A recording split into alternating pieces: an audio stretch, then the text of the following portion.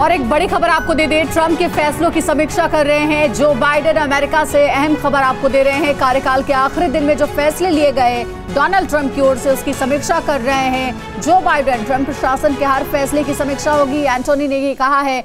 और आपको बता दें कि राष्ट्रपति जो बाइडेन लगातार उन फैसलों को गौर से देख रहे हैं, जो डोनाल्ड ट्रंप के कार्यकाल के दौरान ली गई थी।